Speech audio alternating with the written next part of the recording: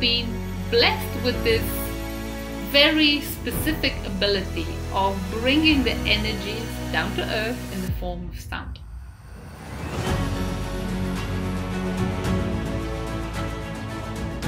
What's the point in speaking light language?